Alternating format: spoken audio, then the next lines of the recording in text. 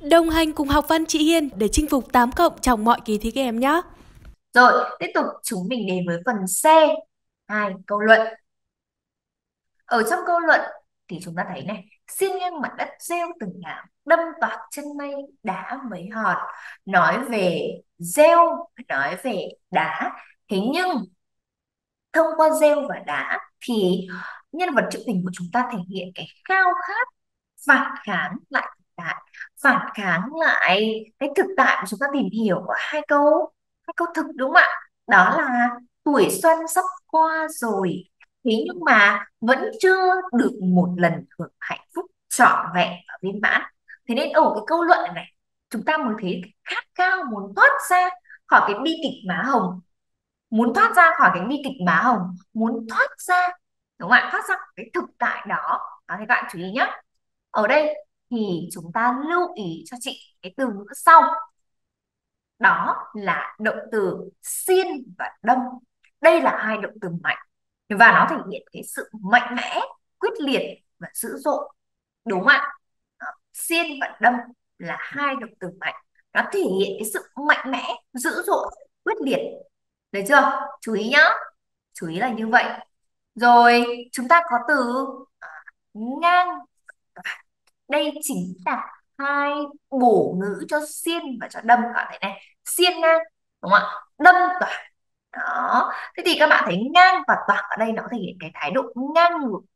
Như muốn bứt phá và vùng vẫy ra khỏi cái số phận cái bi kịch cái thực tại của nhân vật trữ tình. Cô đơn lẻ bóng đúng không ạ? À, cái sự tuổi hổ bẽ bàng. Mà tuổi xuân sắp đi qua thì nhưng mà chưa một lần được hưởng hạnh phúc một cách trọn vẹn.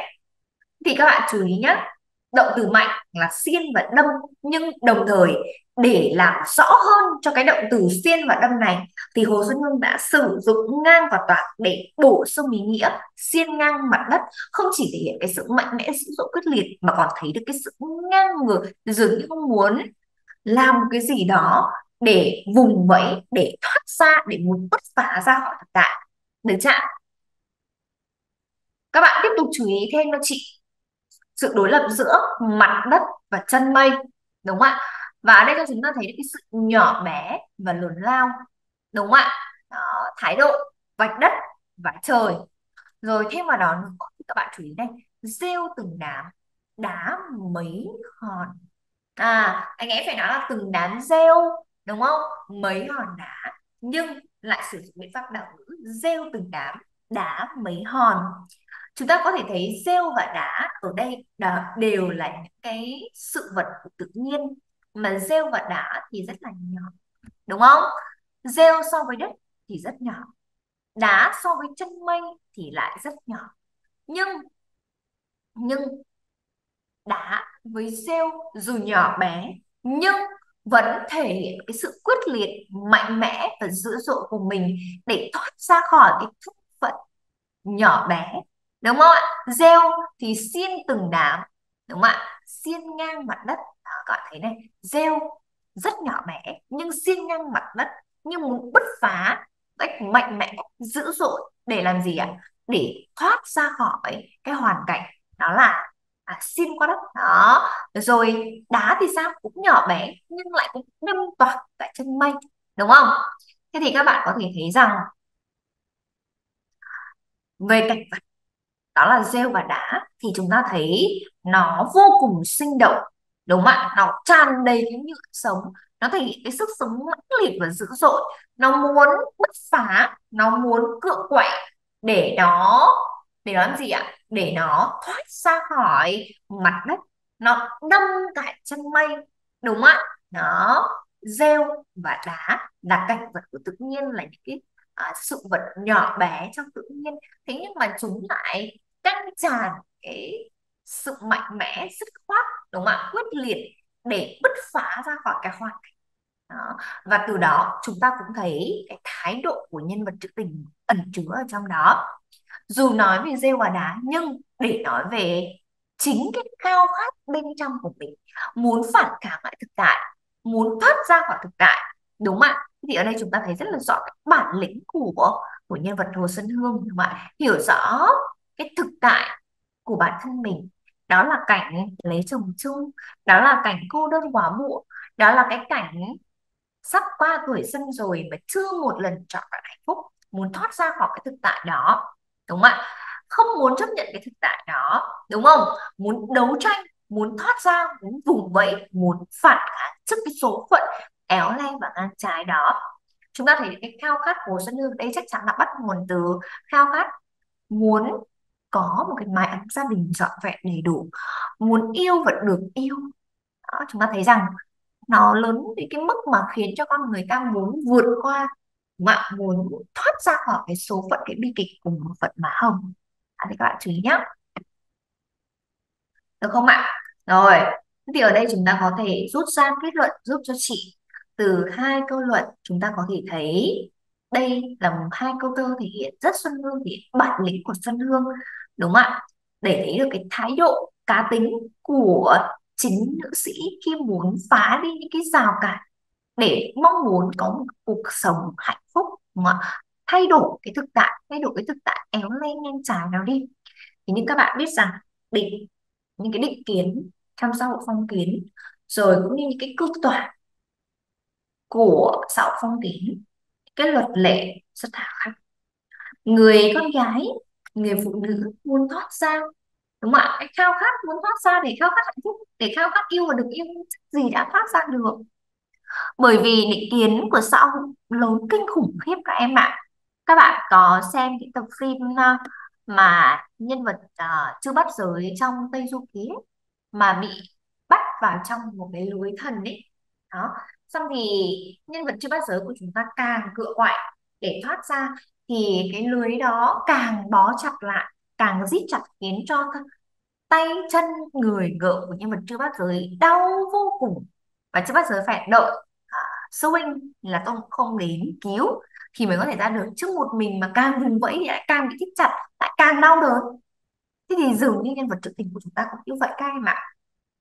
Vùng vẫy cựa quậy muốn thoát ra đúng không ạ? Muốn phản kháng muốn chống lại thế nhưng mà dường như đã không ra nổi, không thoát khỏi cái cái thực tại, không thoát được cái thực cảnh là cô đơn lẻ bóng, lẻ loi bẽ bạc, sắp đi qua tuổi xuân mà chưa một lần hạnh phúc là bởi vì sao ạ?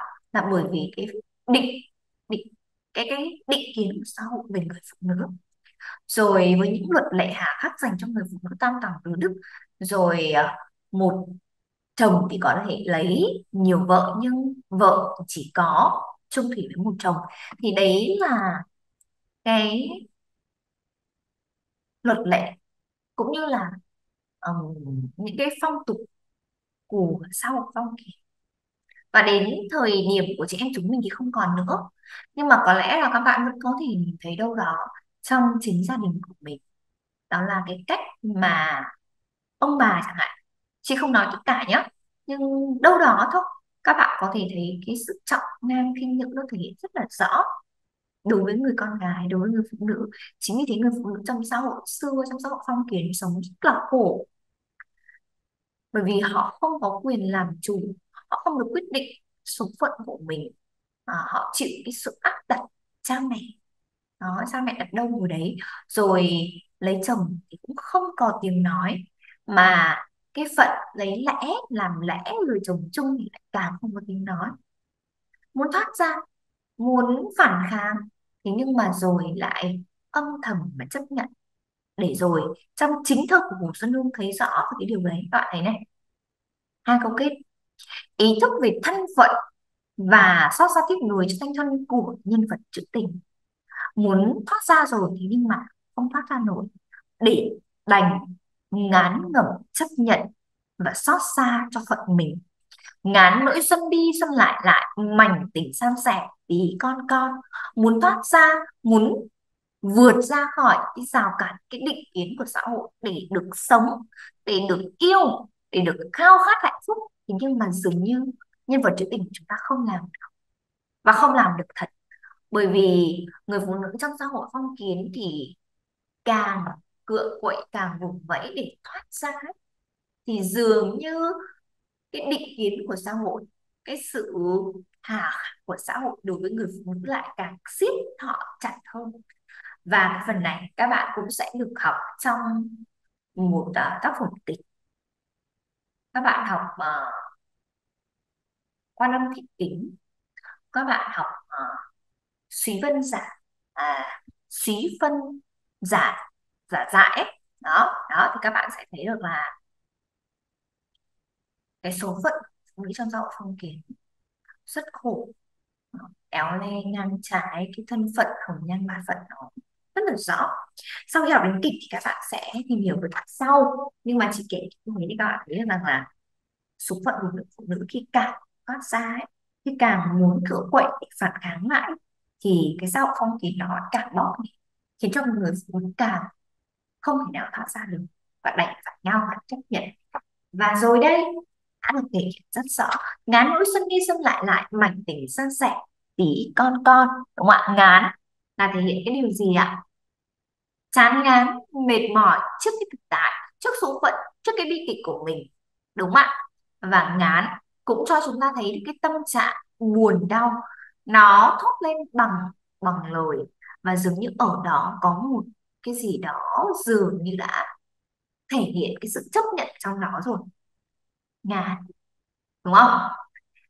Thể hiện cái sự chán ngán mệt mỏi trước thực tại, nhưng dường như ở trong đó ta cũng thấy cả sự chấp nhận của nhân vật trữ tình, đúng không? Đó, và có cả chút gì đó hồn trách, không làm gì được cả. Phản kháng, quyết liệt, dữ dội, mạnh mẽ để phát ra, nhưng Xã hội phong kiến lại càng ghi chặt lại càng bóp nghẹt, thế nên đành phải chấp nhận và hờn trách. Rồi tiếp tục các bạn chú ý này, ngán nỗi xuân đi xuân lại lại, ngán tình cảnh ấy lắm rồi, đúng không? Nhưng cũng đành phải chấp nhận nó. Và cái tình cảnh đó là tình cảnh như thế nào ạ? Xuân đi xuân lại lại. Mà từ xuân ở đây các bạn để hiểu với ba nét nghĩa. Thứ nhất, đó chính là mùa xuân, thế nhưng cũng chính là tuổi xuân được không ạ? Ý nói mùa xuân của tự nhiên nhưng cũng chính là tuổi xuân của người phụ nữ, của nhân vật trữ tình này này. Được không ạ? Mà chúng ta thấy rằng mùa xuân của tự nhiên thì sẽ có thể trôi đi, nhưng đến năm sau thì mùa xuân cũng sẽ quay lại, đúng không? Đó. Trong bài thơ vội vàng à, của Xuân Diệu thì cũng đã nhắc đến cái sự chảy trôi của thời gian, cũng như là sự chảy trôi của tuổi xuân. Nếu tuổi trẻ chẳng hai lần thắng lại còn trời đất, nhưng chẳng còn tôi nữa. Nói làm chi, trời đất vẫn tuần hoàn. Đó, xuân đương qua nghĩa, xuân đang đến nghĩa là xuân đương qua, xuân còn non nghĩa là xuân sẽ già, mà xuân hết, mà xuân hết nghĩa là ngọc tôi cũng mất. Thế thì các bạn có thể thấy rằng xuân của tự nhiên thì sẽ có thể trôi đi, nhưng lại có thể lặp lại. Bởi vì thời gian và mùa xuân của tự nhiên là thời gian của sự tuần hoàn và lặp lại. Hết xuân qua thu tới, đông lại về, đúng chưa? Nhưng mà tuổi xuân của con người thì sao? Tuổi xuân của con người lại có qua rồi là không thể lấy lại. Đúng chưa? Đúng chưa nếu như xuân của đời người là hữu hạn, thì xuân của tự nhiên là vô hạn. Đó. Và các bạn có thể thấy, thông qua cái từ xuân này, ta thấy được cái quan niệm mới mẻ của xuân diệu về xuân của xuân hương, về thời gian. Bởi vì trong thơ ca trung nãi, chúng ta sẽ thấy thời gian là thời gian của sự tuần hoàn, đúng không ạ? Trong bài thơ của thiền sư mãn giác ấy, thì chị nhớ có câu câu thơ là à, trong bài thơ đó thì đó là bài thơ được làm bằng chữ Hán ấy để các bạn đợi chậm chút xíu thì chị nhớ lại nhé chị nhớ lại câu thơ đó để thể hiện được quan niệm về thời gian trong thơ ca trung đại là sự tuần hoàn là sự lặp lại. À, các bạn đợi chị một chút xíu để chị nhớ lại chị nhớ lại cái câu thơ đó. Rồi chị nhớ rồi chị sẽ à, đọc cho bạn nghe nhé. đó là xuân khứ à, bách hoa lạc. Xuân đỏ bách hoa khai. Đây là một bài thơ được làm bằng chữ Hán nên chị sẽ dịch cho các bạn nhé hai câu thơ đó ý chỉ nói rằng xuân đi thì trăm hoa rụng xuân đến thì trăm hoa nở. Để thấy được cái quan niệm về thời gian của người xưa. Đó là quan niệm về thời gian trong thơ ca trung đại đúng không? Thời gian tuần hoàn. Xuân đi rồi xuân lại đến. Nhưng ở đây chúng ta thấy một quan niệm về thời gian rất là mới mẻ của Xuân Hương. Dù Xuân Hương của chúng ta sống ở thế kỷ thứ 19 đúng không ạ? À, làm thơ trung đại. Nhưng mà lại không chịu sự chi phối về quan niệm thời gian của thơ ca trung đại mà đã phát hiện ra cái quan niệm về thời gian rất là mới mẻ mới là mới so với thơ ca trung đại đúng không? Còn nếu các bạn so với Xuân Diệu hay là so với Hàn Mặc Tử với sự chạy trôi của thời gian thì có lẽ là không còn mới nữa. Bởi vì Hàn Mặc Tử với Xuân Diệu là tận đầu thế kỷ 20 rồi đúng không ạ? Thế nên ở đây, mới, cái mà chị nói mới của Xuân Hương là so với so với thơ ca trong trung đại nhá. Thế nên chúng ta thấy rằng thời gian trong thơ của Xuân Hương là chúng ta thấy đó là thời gian của của sự chảy trôi đúng không ạ, một đi không trở lại. Tuổi xuân của con người đã mất là mất, đã trôi đi là không còn nữa. Thời gian của tự nhiên thì lặp lại tuần hoàn, nhưng thời gian của con người thì không như vậy, bởi vì đã đi là mất, đúng không ạ? Đã trôi qua đã không còn trở lại. Ngắn nỗi xuân đi, xuân lại lại. Ở đây các bạn chủ yếu chị và tự lại nhất, lại một, đúng không ạ? Lại một bệnh ý chỉ là thêm một lần nữa. Ngán nỗi xuân đi xuân lại. À, đúng không ạ? Tức là thêm một lần nữa. Đó. Còn lại thứ hai là trở lại. Mà các bạn biết rồi mùa xuân của tự nhiên đúng không ạ? Thêm một lần nữa. Đúng không ạ? Trở về thêm một lần nữa trở về. Tức là mùa xuân của năm nay. Rồi đến mùa xuân năm sau. Nhỉ bắt đầu đọc này? Liên kết ngán xuân rồi xuân đi xuân lại lại, các bạn sẽ thấy cái cái bước chân của thời gian tự nhiên, đúng không? Và chúng ta cũng thấy cái sự chảy trôi của tuổi xuân con người. Các bạn cùng với chị này. Xuân đi, xuân lại lại, tức là thêm một lần nữa, mùa xuân của tự nhiên quay trở lại. Và tôi, nhân vật trữ tình đã ngán lắm cái sự quay đi, trở lại, trôi đi, trở lại của mùa xuân rồi. Tôi đã ngán lắm rồi, tôi đã chán lắm rồi. Nhưng nhưng xuân không chỉ là xuân của tự nhiên, mà còn là xuân của con người. Đã ngán cái sự chảy trôi của thời gian, đã ngán tất cả cái sự tuần hoàn đó rồi bởi lẽ xuân có đi, rồi xuân có đến thì tôi vẫn một mình. Tôi vẫn cô đơn lẻ bóng mà tôi lại đang đang đang già đi. Tuổi xuân của tôi đang dần mất đi. Xuân của tự nhiên quay trở lại bao nhiêu thì xuân của đời người lại lại hao hụt, lại mất đi bấy nhiêu. Đúng không? Thông qua đó, chúng ta thấy được cái sự xót xa tiếc nuối của nhân vật trữ tình trước cái bước đi của thời gian trước tuổi xuân những cái năm tháng à, còn trẻ của mình. À, các bạn chú ý nhé thì ở đây các bạn lưu ý cho chị một điều rằng xuân ta hiểu theo hai nghĩa. Xuân một là xuân của tự nhiên xuân hai là xuân của đời người. Mà xuân của tự nhiên thì là tuần hoàn mà xuân của đời người là hữu hạn một đi không trở lại một quan niệm vô cùng mới mẻ của của Xuân Hương về thời gian, về bước đi của thời gian. Lại là thêm mỗi một mùa xuân quay lại, là tuổi xuân của con người mất đi để rồi thì cái sự xót xa và nuối tiếc trước trước cái bước đi của thời gian, trước cái sự chảy trôi của tuổi xuân. Đúng không ạ? Được chưa? Các bạn chú ý nhá rồi, thêm vào đó nữa thì các bạn chú ý cho chị câu thơ cuối cùng. Mảnh tình san sẻ, tí con con. Trước tiên, chú ý vào mảnh tình. Mảnh tình. Khi nhắc đến tình, chắc phải nhắc đến khối tình nhỉ? Khối tình còn mãi với nước non. Khi nhắc đến khối tình thì chúng ta thấy nó lớn, đúng không ạ? Đó, nó to. Đó nó nhiều. Đầy, đúng không? Cả một khối tình cơ mà. Thế nhưng mà mảnh tình thì sao ạ? Mảnh gợi cho chúng ta cái sự mỏng, đúng không ạ? Bé một mảnh, đúng không? Chị lấy ví dụ như vậy. Các bạn thấy rất là nhỏ, rất là bé. Một mảnh, một mẩu giấy. Rất mỏng, rất bé như thế này. Đúng không? Không thành khối. Nhỏ bé không thành khối rất vụn vặt. Thế nhưng mà chính cái cái sự nhỏ bé của mảnh tình đấy đã bé rồi, nay lại còn phải san sẻ. Nếu như bây giờ chỉ có khối tình chị san sẻ đi, thì chị ít mỗi người còn được chút chút. Thế nhưng mà chị chỉ có mảnh tình thôi mà chị san sẻ thì còn lại gì? Lấy một ví dụ như này nhá. Bạn nào mà đang một lúc mà grab khoảng độ ba bạn đi. Nhưng mà cái tình của chúng ta dành thì lại không chân thành cũng chẳng chân thực mà cũng không biết có phải là tình hay không. Ấy xinh xinh xinh thì thích vậy xong thì đò đưa à, tá lưa tá lưa tả tỉnh đúng không? Đó chị lấy ví dụ thôi. Chị lấy ví dụ để cho các bạn thấy cái sự san sẻ tình cảm nhé. Thế thì đã ấy không yêu con người ta chân thành thì thôi.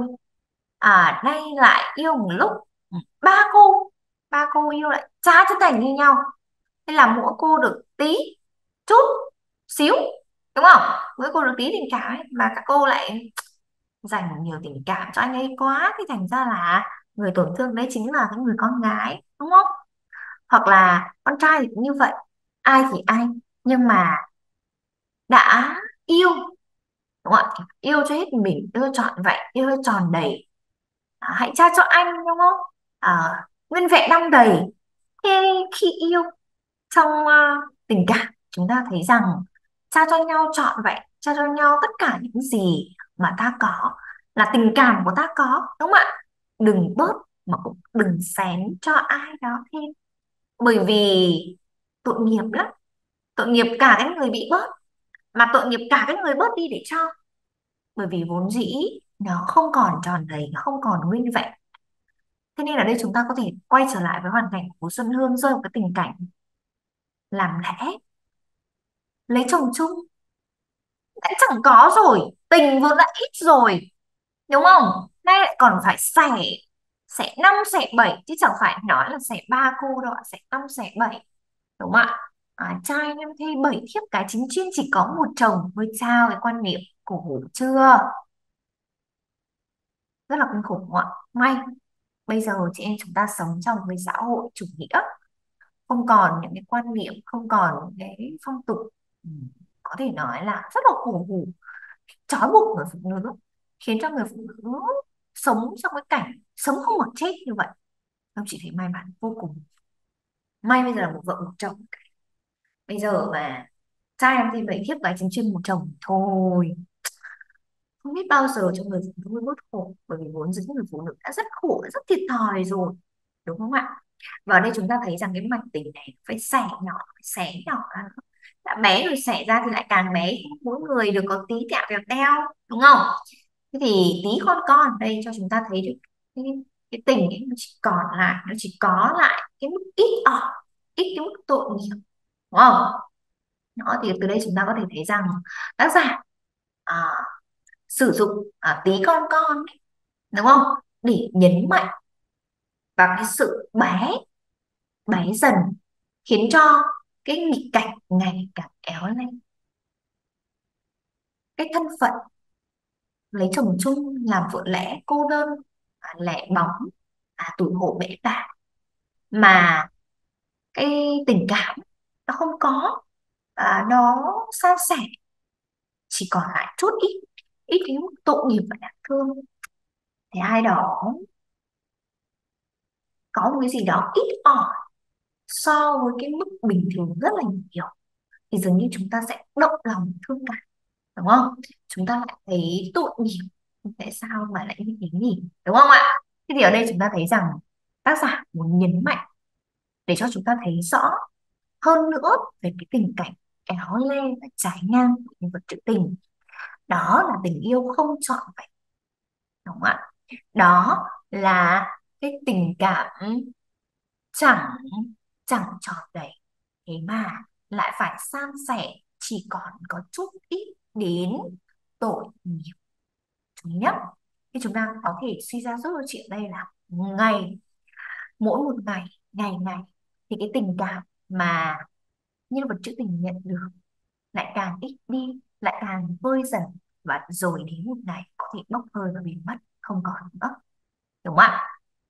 Thế thì chúng ta có thể thấy rằng cái thân phận làm lẽ và cái tình yêu không trọn vẹn được thể hiện rất là rõ ở cái câu thơ cuối cùng này. Và đó cũng chính là sự chấp nhận của nhân vật trữ tình đối với thực tại, đối với hoàn cảnh và đối với cái số kiếp của mình bởi vì cái sự phản kháng để thoát ra khỏi cái thực tại đó. Ở câu ở câu luận ấy, các bạn thấy mạnh mẽ bao nhiêu, dữ dội bấy nhiêu, đúng không ạ? Các bạn thấy rất dữ dội, rất mãnh liệt. Xin ngang đâm toạc cơ mà, để thoát ra thực tại. Thì ở cái câu kết này chúng ta lại thấy cái sự ngán một tiếng thở dài các em ạ thôi đành chấp nhận vậy. Biết làm thế nào bây giờ?